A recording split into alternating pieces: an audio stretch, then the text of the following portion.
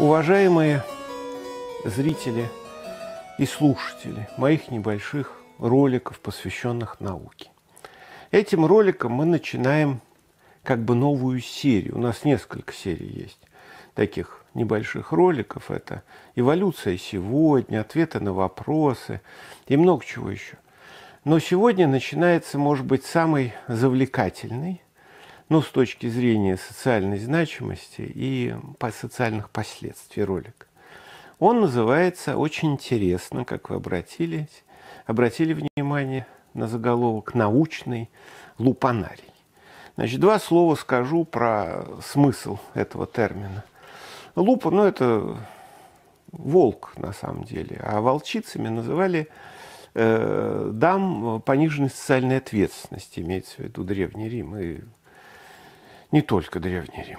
И поэтому лупанарий – это на самом деле публичный дом в древнем мире. И этот публичный дом, значит, он, собственно говоря, его жизнь в нем, она очень сходна с научной активностью на этой планете. Ну, примерно то и происходит.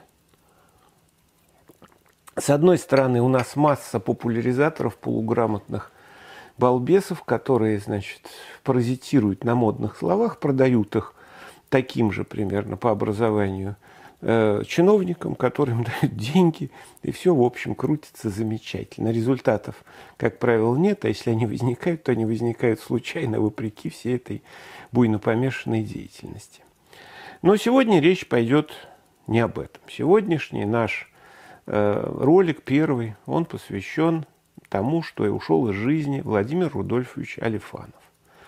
Это выдающийся палеонтолог, работая с которым мы связаны были больше 20 лет, который э, был последним, я думаю, единственным на сегодняшний день специалистом в области как ящериц, который описал много десятков видов, и не только видов, но и семейств ящериц, то есть внес колоссальный вклад в палеонтологию – рептилий в виде ящерицы. И очень много работал, в том числе и мы совместно работали, э, над динозаврами. Я, поскольку занимаюсь мозгом, это все, соответственно, и э, был ориентирован на то, чтобы попытаться объединить э, палеонтологию классического типа, то есть имеется в виду в первую очередь анализ костных останков и их систематику, их, так сказать, эволюцию с морфогенезом мозга. И начали мы свою деятельность очень много лет назад как раз вот с этого. Это вот классический слепок образца мозга, мозга тробозавра, который, который была сделана еще в 2005 году. Это распиленный был череп тробозавра. Это такой же, как тиранозавр Рекс, только покрупнее из Монголии. А потом в конце всей этой работы появилась вот такая реконструкция – мозга, которую я сделал, значит, по результатам анализа вот этого вот отпечатка очень тщательного. Но на это ушло еще довольно много лет, еще где-то через три года только она появилась. Это длительный процесс. Вообще анализ того, чего нет, не имеет аналогов таких прямых в современном мире, имеется в виду палеонтологического материала, э, занимает колоссальное время и колоссальные усилия. Поэтому дилетантистский подход вот этих вот популяризаторов или там западных авантюристов, которые наезжают в нашу страну, я имею конкретных людей. Гудфруа, Бентона, которые уже директора институтов, они никакого отношения к науке не имеют. Это науч, околонаучный бизнес. Хотя и очень успешный для них. Э, Владимир Рудольфович Алифанов проработал всю свою жизнь практически в палеонтологическом институте. Это серьезный был человек, который где-то по 12-14 часов в день всю жизнь, а прожил он недолго, всего 63 года, он занимался наукой. То есть методично, изо дня в день. Он был в экспедициях многочисленных, в том числе и в Монголии, и руководил экспедициями. Вот, и тема, которую я выбрал, это тема, посвященная ископаемым ящерицам. Ну, вот, э, как раз в Монголии он собирал те ящерицы, которых он описывал потом, по большую часть жизни. Ну и самое главное, что человек, который работает столько и осмысленно, не пытаясь подогнать свои знания под кладограммы или какие-нибудь другие умозрительные изобретения западных бездельников, они, конечно, он, конечно, представляет большую социальную опасность для тех, кто так не работает. Ну, по этой причине понятно, что его доброжелателей было, мягко скажем, немного, как у любого знающего человека. То есть его боялись, не любили, ну и пакостничали. Основным, основными занятиями в его жизни было несколько таких человеческих пристрастий. Ну, он любил котов.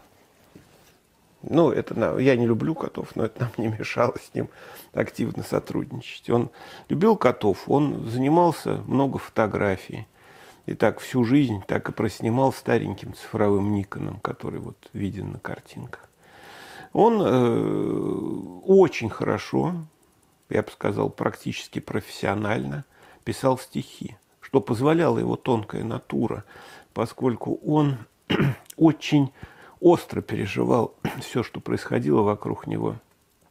И э, очень часто принимал все на себя, скрывая. Всем казалось, что он такой толстокожий, которую не пробить ничем. На самом деле тонко чувствующий поэт, отличный художник, кстати, он очень хорошо рисовал, причем не только имеется в виду иллюстрации к своим многочисленным работам по палеонтологии ящериц и динозавров, но и э, работал маслом, то есть он действительно умел это делать и делал хорошо.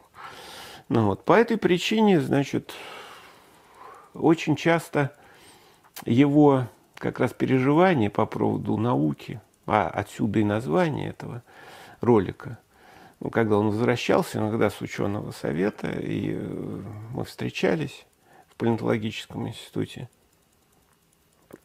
или его вызывали какие-нибудь геологи, которые неожиданно начинали лезть в палеонтологию. А, я у него спрашивал, ну как там? Он говорит, ну, ну это обычный лупанарий, даже не научный.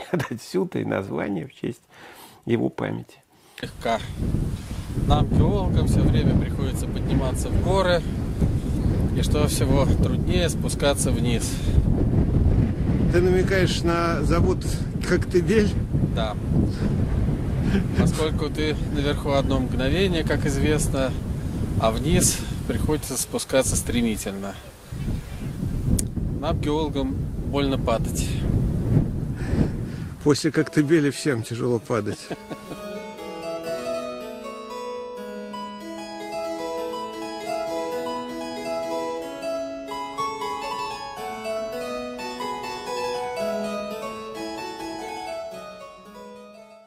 Таким образом, человек, он был широко образованный, очень хорошо знающий предмет, ну, лучший, скажем так, специалист по динозаврам, кто бы ими сейчас, ими сейчас не назывался, в нашей стране.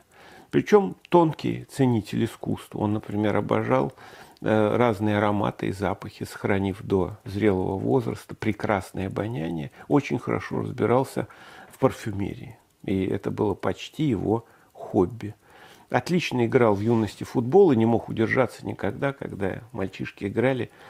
Э, особенно, когда мы бывали на каких-то конференциях. Вообще конференции для него были способом отдыха. При таком режиме работы 12-14 часов в день, конечно, было тяжеловато. И конференции или поездки куда-то воспринимались как почти развлечение. Хотя иногда, как на Кульниде, нам при, приходилось вот колоть камни, вот его комментарии по поводу этой Кулинды послушайте.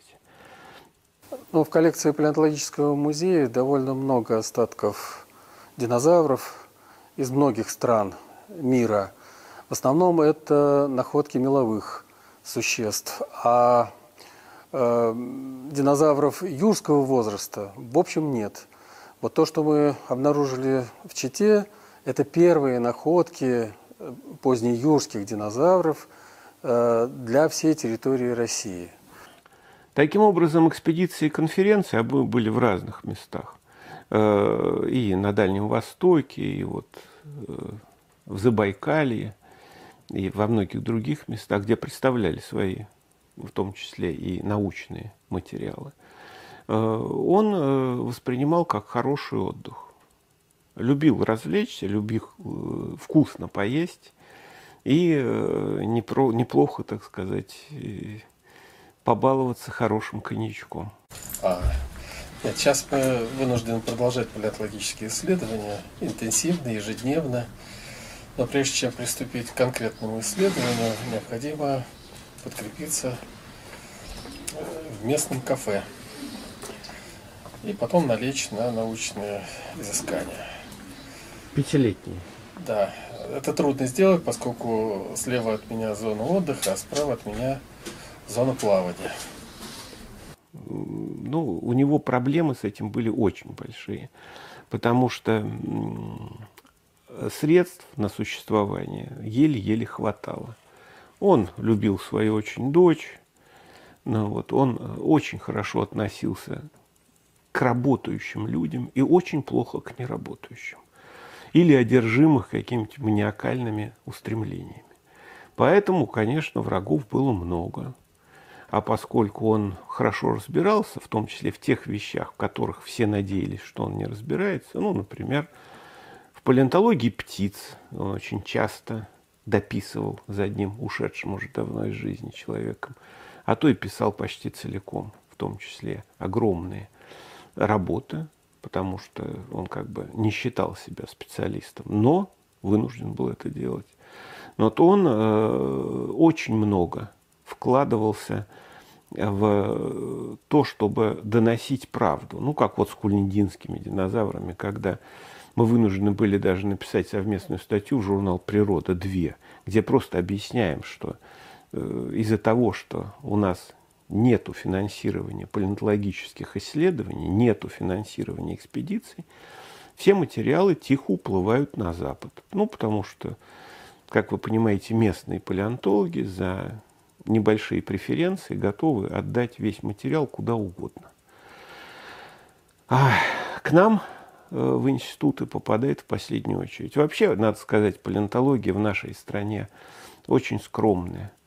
Такие институты, как у нас палеонтологический институт, требуют намного большего финансирования и намного большего внимания. Такие институты находятся в каждой китайской провинции. Но о чем говорить? Конечно, они сейчас и роют, и находят, и описывают очень много материалов. Это, конечно, надо исправлять, но это исправить невозможно по причине того, что цели для большинства людей, руководящих наукой, совсем другие. Поэтому эта передача будет заполнена многими интересными историями из лупанария, то есть научного сообщества.